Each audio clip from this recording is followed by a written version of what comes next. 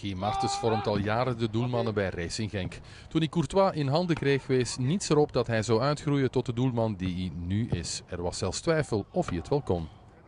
Op 13, 14-jarige leeftijd uh, waren er eigenlijk totaal geen tekenen dat hij zo een uh, fantastische keeper zou worden.